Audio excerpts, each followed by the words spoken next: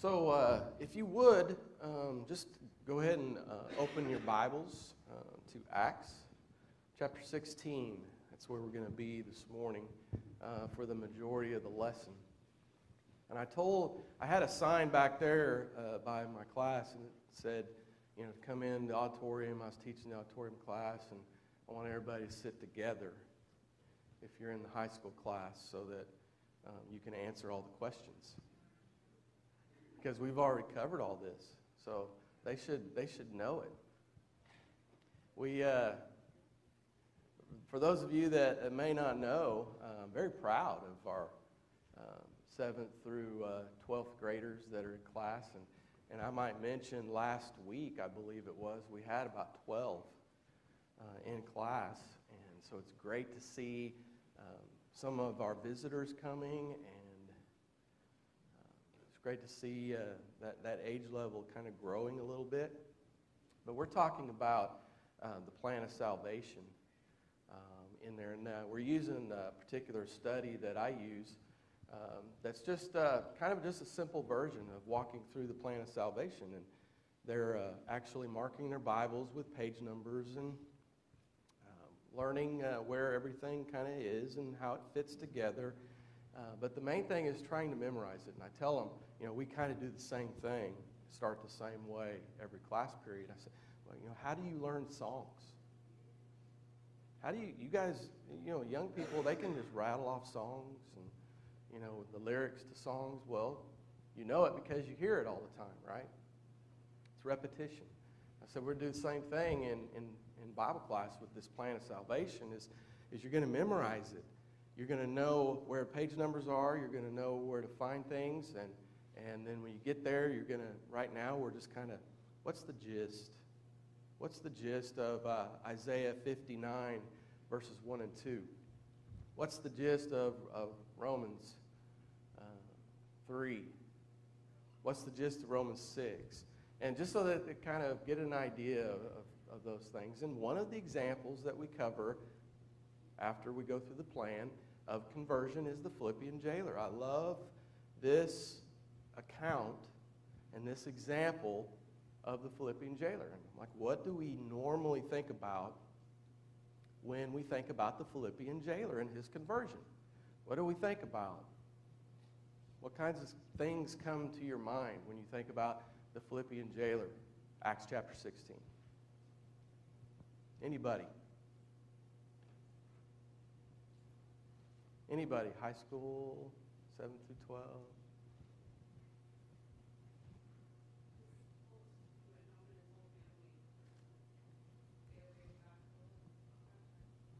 Absolutely. He and his whole family. Is that not encouraging? He and his whole family. You got to get excited about that. When one learns the gospel and is converted, and then his family or her family follows man, that's, that's the best way of um, evangelism. That's the best way of growing uh, the church is through families. It's probably uh, difficult at times, you know, we understand that. Uh, it can be difficult trying to convert families, uh, especially if they're, they're strong religiously in, uh, in another denomination. What else?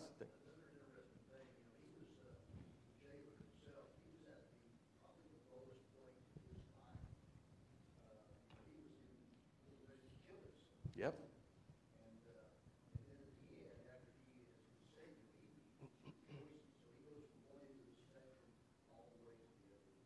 Yeah.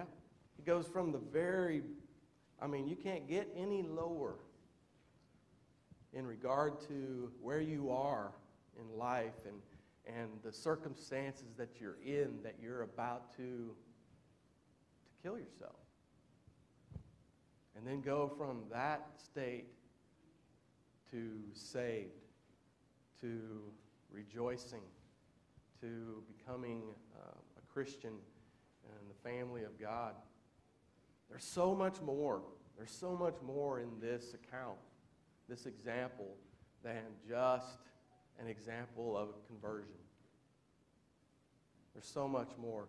And, you know, we have you know, I, I've just made some notes, and these, I, if you were in the adult class, Joe Carpenter's adult class, uh, couple, I don't know, it's probably the second or first Sunday in January, I did the same lesson. I was sub for him, and uh, I did the same lesson, so I apologize if you were in that class. But um, I've added to the lesson since then. Uh, there's because there's so much more. You think about this this lesson and this account. Um, you have suffering, uh, suffering on the part uh, of Paul and, and, and Silas. You have endurance. You have perseverance. You have a lesson in dedication. You also have um, an example of singing and the effects that just our singing can have on one another and other people. Uh, you have uh, how our example, how significant our example can be to others who might be listening and or watching what we're doing. You also have a, a great example of evangelism. I mentioned the family. Uh, you have an example of suicide, attempted suicide. Um, you have uh, uh, obviously about belief in, in, in Jesus, and you have the actions that follow, um, how our environment and our surroundings can affect who we are. And then you have probably the most vital question asked in Scripture, which is what? What is the probably most vital, important question that can affect a person's life than anything else? What must I do to be saved?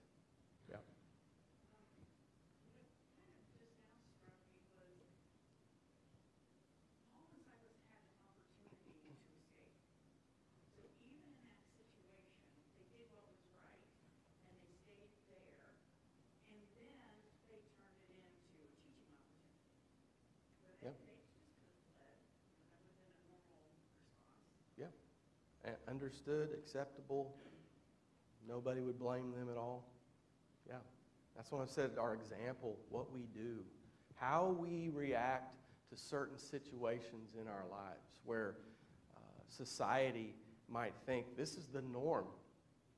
This is how we react versus a Christian's response to the same situation and how strong our example is.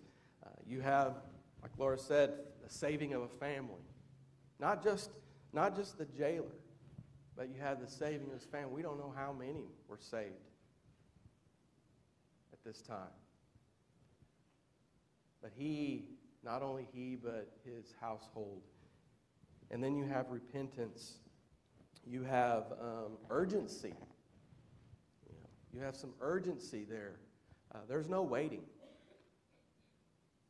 There's no waiting when it comes to responding uh, to the gospel and what you must do. Uh, it's dangerous. It's dangerous to wait. Uh, how to live, um, our joyfulness, even example of, of how we might need to behave and act as a Christian. You have an example there uh, in, in this particular uh, story. Uh, you know, God often uses um, adverse circumstances, and obviously, this is one of those examples to lead people to Him. Um, and we have example over example uh, in, in Scripture about using adverse situations, difficult times, struggles uh, to lead people. Uh, and we need to realize that, that one of the purposes for you know, which God often uses our circumstances to show us how much we need Him, to show us the part that He can play in our lives. And, and when we are about to take our life, or when we're about to, to be dead spiritually, that uh, we can be shown uh, life through Him and the gospel message. And, you know, we talked about that. What does the gospel mean? What does the gospel mean? Well, what's the good news? What's the good news mean? Well, the good news is, of course, Jesus and his birth and, and his life and his ministry and, and his death and his resurrection and, and what all that means. But, high school class, what does the gospel mean? Hmm? Yeah, be saved. Way to be saved. We were dead. We were dead. And the gospel means life. From death to life. That's the gospel message. That's the gospel message. The wages of sin is death. We were dead. But the gift eternal life through Christ Jesus, the gift from death to life. So I want to start in verse 16 and just see the circumstances that happened leading up to. And they're on their second uh, missionary journey and they're finding themselves in Philippi. And, and this happens. It, you know, they went to prayer, verse 16. They went to prayer. I don't know what that means, what the significance of, but they're going somewhere to pray. And a certain slave girl possessed by a spirit of divination met us who brought her masters much profit by fortune telling. And this girl, they, they followed Paul. She followed Paul and us and cried out, saying, These men are the servants of the Most High God, who proclaim to us the way of salvation. And this she did for many days. So, who's, who's here? Just, you know, and I know we're not necessarily talking about the Philippian jailer yet, but we're leading up to it. So uh, Luke writes, um, you know, now it happened as we went to prayer, and uh, Paul, uh, this girl followed Paul and us and cried out, Who's, she, who's he? Who's us? Who's we? Who's all involved in this right now? Well, we know it's Paul, right? We know it's Silas. Who else is there?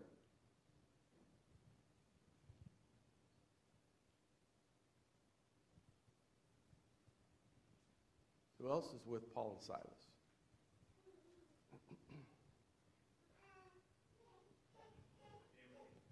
Timothy? Luke?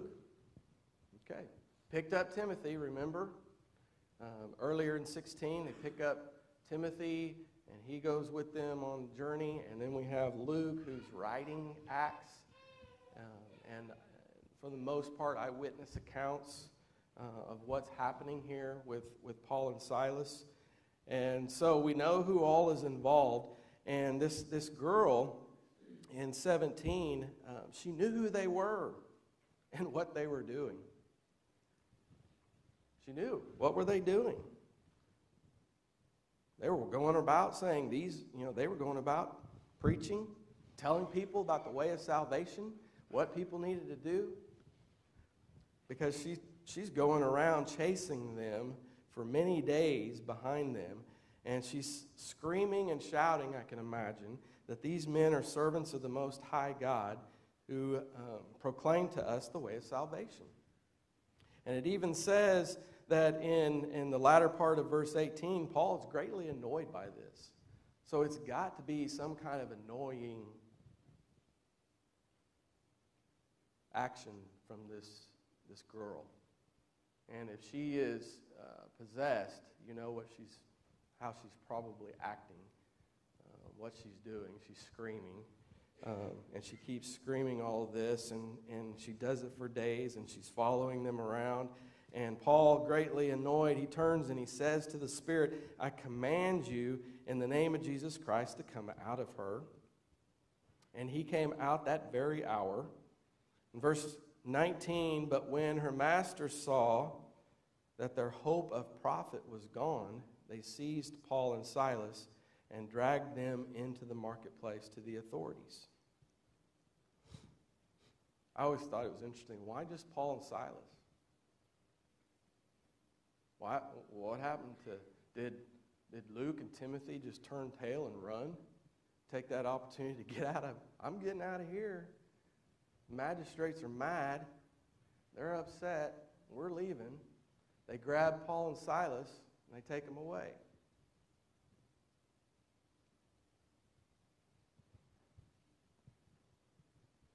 Thought that was interesting. You know, who knows? Who knows? I know Paul was probably a target. They, they'd heard about Paul, they knew about Paul. And Silas, I don't know, maybe he was just close to Paul and they just grabbed him and, and took him away. I don't know the reason behind it, but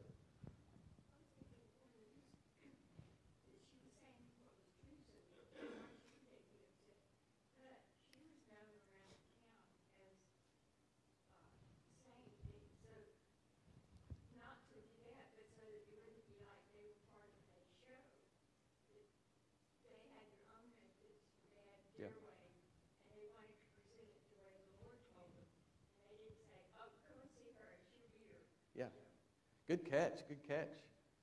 I mean, was she not speaking the truth? Uh, there wasn't anything wrong with what she said. Maybe how she was going about doing it. But yeah, I mean, Paul, Paul maybe he probably didn't want to be associated with that. I don't, I don't want anything. They, people might think that we're like a team or something. If she's following them around, shouting that, you know, she's our sidekick kind of thing. No, no, we're not going to be associated with someone who has an evil spirit that's controlling them. And so he, he took care of that um, really, really quick. So they, they dragged them to the marketplace authorities. You want to you want to get someone upset really quick? You hit them in the pocketbook.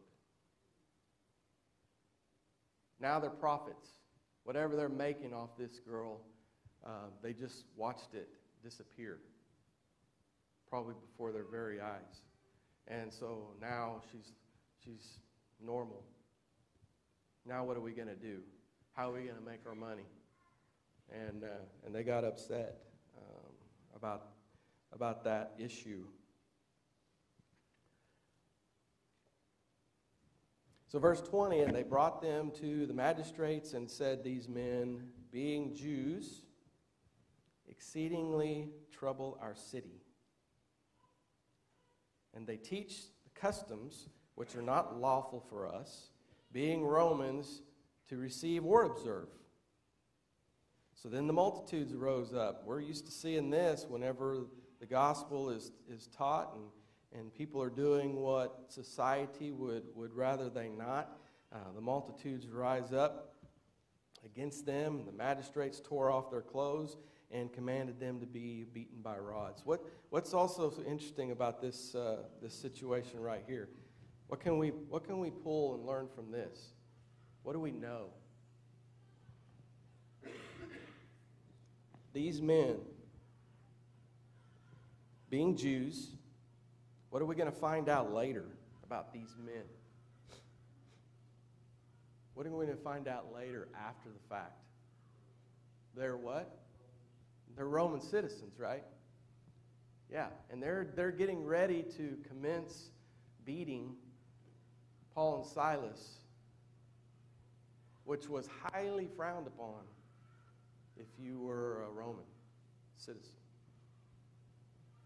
So they're getting ready to do something that they're going to regret uh, later on. Um, and then teaching customs, which are not. What did they forget to mention? These magistrates. What did they forget to mention? They left it out. Why are they mad to begin with? Is it because of their teachings and how they're teaching against their customs and, and the things that they observe? Why are they mad? Yeah. They lost their, their means of profit and income. They left that out, didn't they? They didn't say anything about that. So then they lay in verse 23 many stripes, many stripes on them, and they threw them into prison and commanded the jailer, Here we come, here, here we come with the jailer, to keep them uh, secure. Having received such a charge, okay, the jailer is very serious about his job. He puts them into the inner prison and fastened their feet in stocks. So what kind of picture do you get from being thrown into the inner prison, fastened your feet in stocks?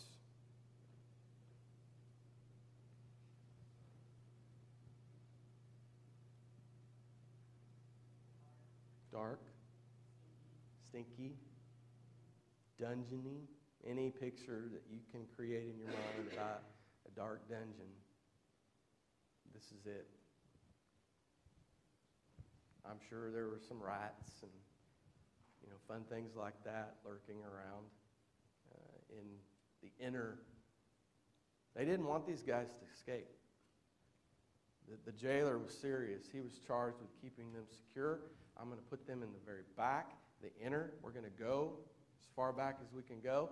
And I'm not only going to shut the, the jail gate, I'm, I'm going to I'm going to fasten them.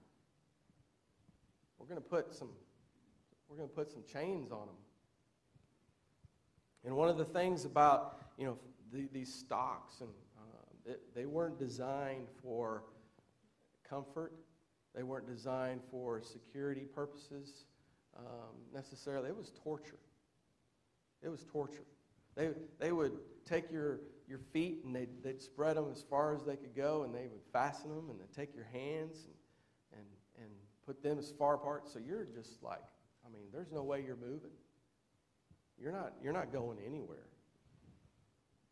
So they're, they're definitely secured um, way back in the inner prison, feet fastened. And now in verse 25, it's midnight. Midnight. And Paul and Silas were praying. And I, I have not, and if, you, if you've ever found anything about, like, from the time that they uh, were taken to the magistrates uh, and beaten uh, and put in jail, uh, in prison, uh, the timeline of that, like, when, what day of the week was that? I don't know. It doesn't say. But if you Anybody knows anything that I don't, and they're able to find anything, because I search, search, trying to figure out, you know, what, what day of the week is this? I don't know. Is it the first day of the week? Is it midnight? Is that Saturday night into Sunday morning? I, I don't know. You know, but what, what time frame are we talking about? But anyway, at midnight, Paul and Silas, they're praying and they're singing hymns to God. They're praying and they're singing hymns to God. And I'm looking at the situation they're in. What would I have been doing at midnight? What do you think you would be doing, given the fact that you were just beaten severely on a bareback, taken to the innermost part of the prison, dark, dungy, dirty, wet, rats, bugs, shackled and chained, so it's not comfortable. What would you be doing at midnight? I can tell you what I'd be doing. And it probably wouldn't be singing. I'd be crying. I'd be crying. I would be in despair. I would be upset. I would think that this is it. There's no hope. I'd be moaning and complaining. I'd be talking about my demise. But what are they doing? They're praying and they're singing hymns to God. And who was listening? That's important. That's an important part that, that we just may just skip over. You know, who was listening to them? Hmm? Other prisoners? Anybody within earshot? The jailer?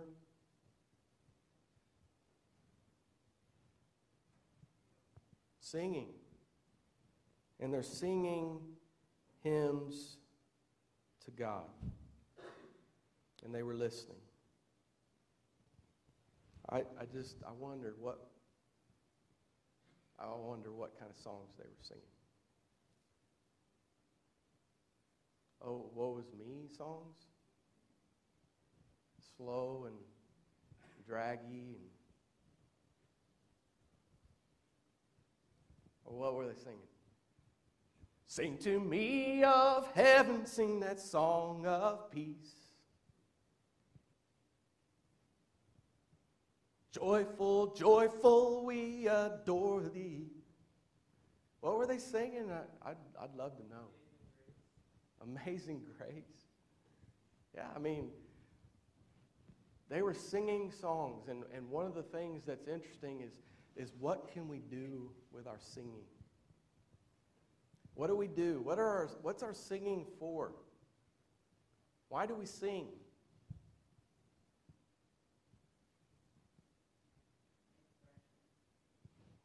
Expression?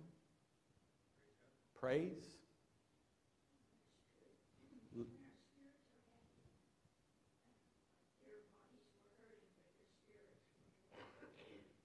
Their bodies, their physical bodies, were in pain. They were hurting. They were struggling. But yet, with their singing,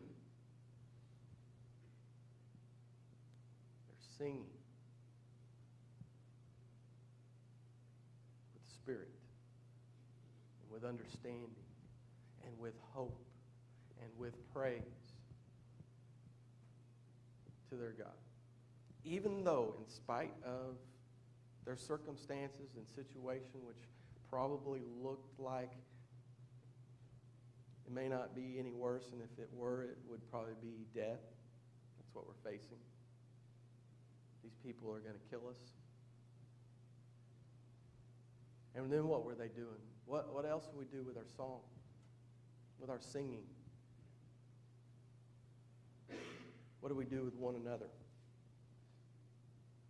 We edify, we uplift, we teach, we admonish. Were they not teaching?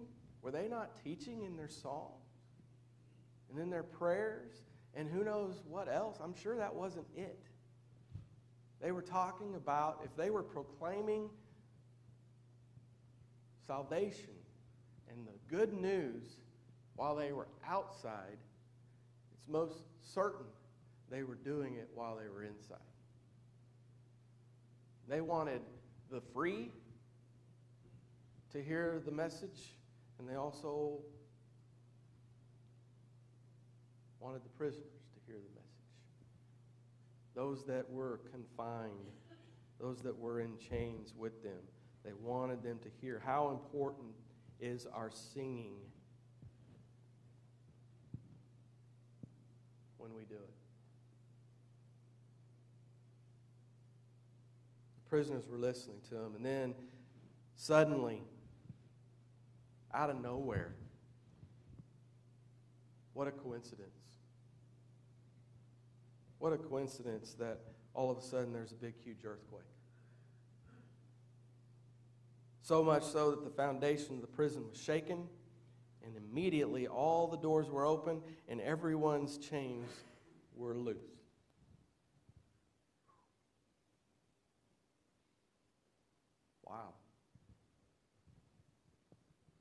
What's special about this earthquake? Coincidence? Yeah, that, that region had earthquakes quite frequently. But what's significant about this earthquake?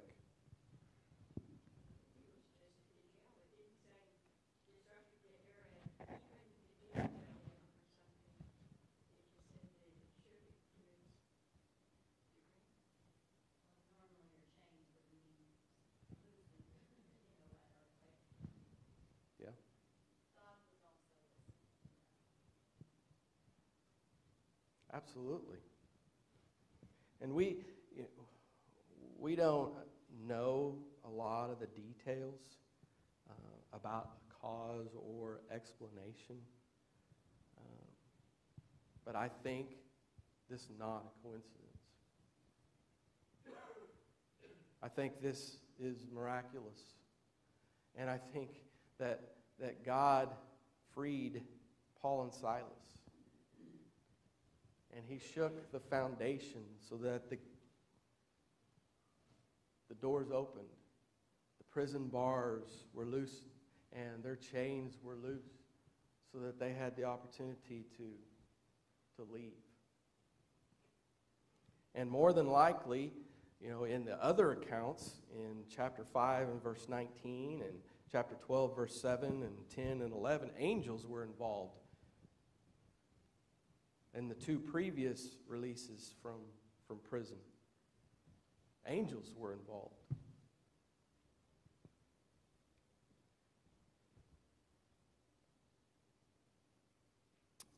And then the jailer the keeper of the prison that was charged to keep them inside, wakes from his sleep, seeing that the prison doors were open, assuming, supposing, like anyone else, that the prisoners had fled, obviously, given the circumstances, he drew his sword and was about to kill himself.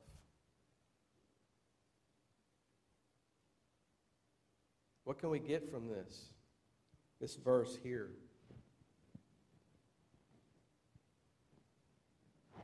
Anybody get anything from it?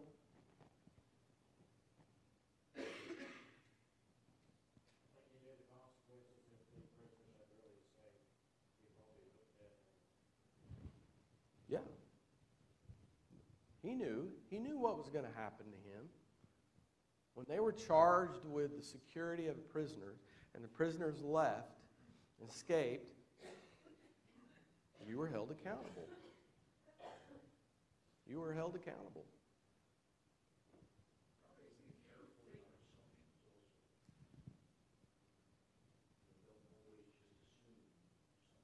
Assume that something happened. Supposing? I mean, what would you suppose? If you woke up from your sleep and you were charged with keeping these prisoners secure, and you wake up after this huge earthquake and doors are open and everything's off its foundation and hinges and you know it's like a clean clean skate route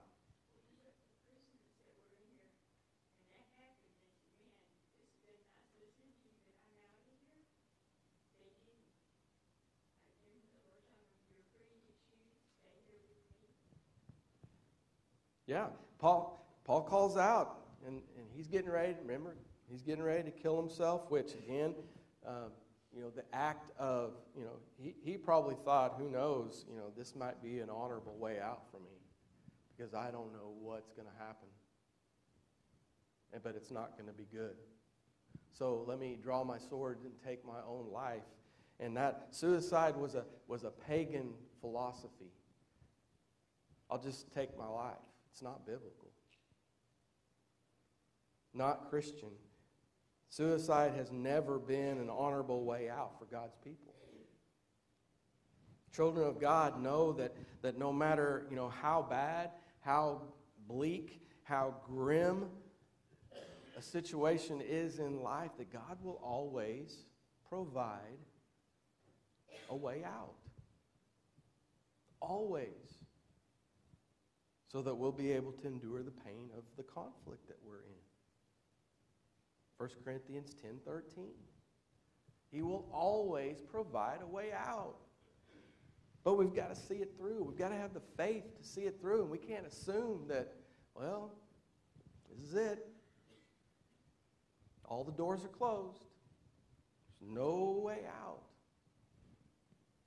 I don't, I I don't see, it's very selfish, I don't see a solution to this problem.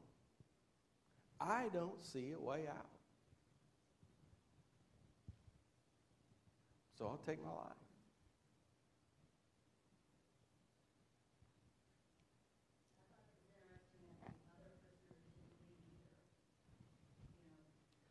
Paul, yeah, Paul called out with a loud voice, don't harm yourself because we're what?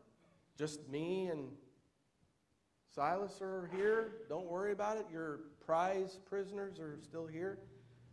We're all here. Which, again, when I'm reading this, I'm like, well, why did they not go? Why did the other prisoners not leave? Take off, run, go.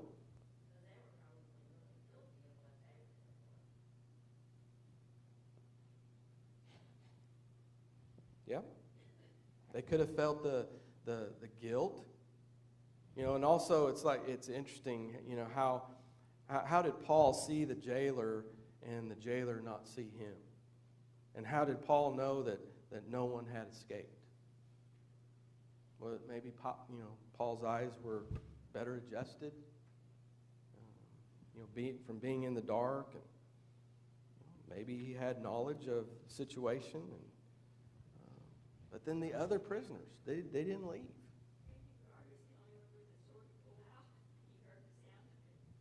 Yeah. You know, momentarily stunned, um, in shock from this earthquake. You know, maybe you know, maybe Paul asked them to stay. Maybe Paul said, hey, you know, you guys stay with us. We'll, we'll take care of you. Maybe God kept them there.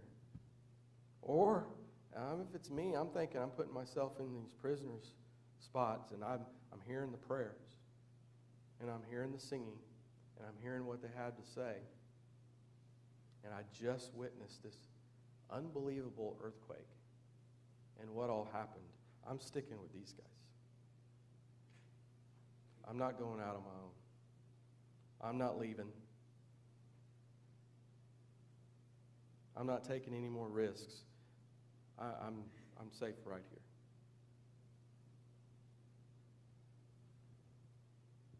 But we know they didn't leave. And he called for a light in verse 29. They ran in fell down, trembling before Paul and Silas and he, he brought them out and said, and, and, and he says, here's the question. Here's the question. And when you're talking plan of salvation, when you're talking plan of salvation with someone, you want to get them to this question. And they're not going to get to that question until they know they're dead. The jailer knew that he was just as good as dead. About to kill himself, about to be done with it. He's dead. And they have to understand that, that we're dead without Christ.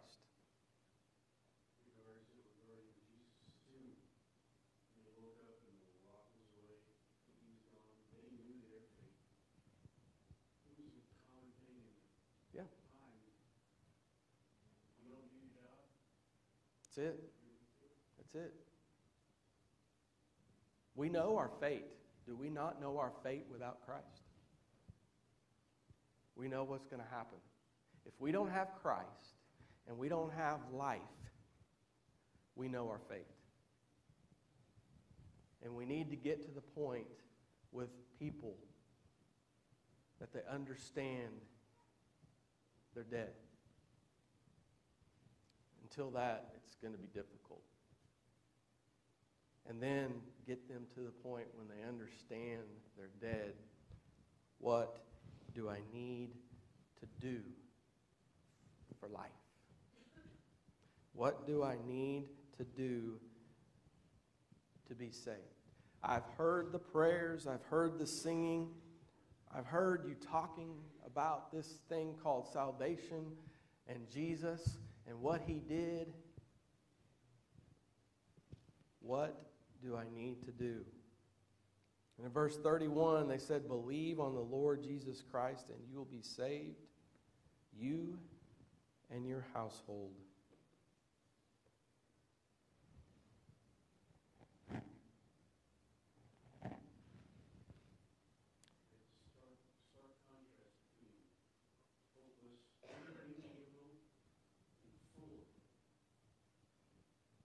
Hope hope.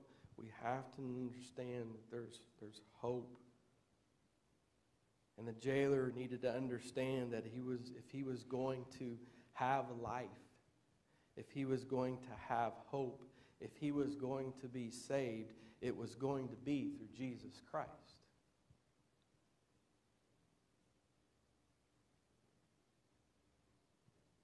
I think Acts 16, verse 31, is one of the, the greatest verses in Scripture. It's God's briefest, quickest answer to man's deepest question. It provides a, a blessing of salvation.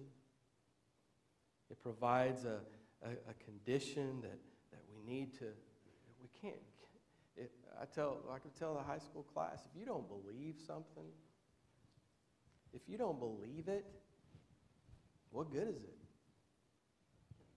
Got to believe it. You know, we use that whole example. You know, you been to the Grand Canyon? No. How do you know it's there? You been to the Empire State Building and the Golden Gate Bridge and Big Ben? No.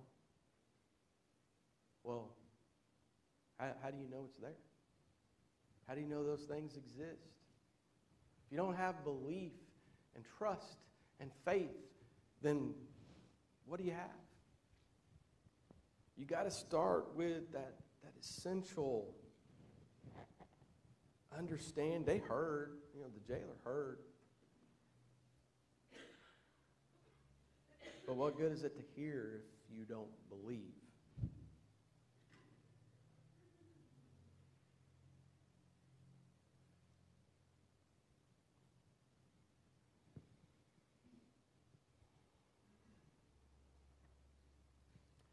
So they spoke the word of the Lord to him and to all that were in his house. And then he took them that same hour. Man, what a message. What a message that he must have heard. And that hour, he took them and he washed their stripes, and immediately all in his family were baptized.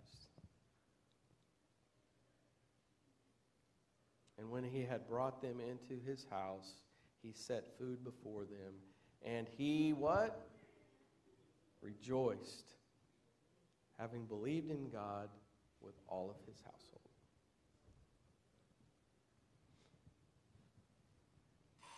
Going from the brink of death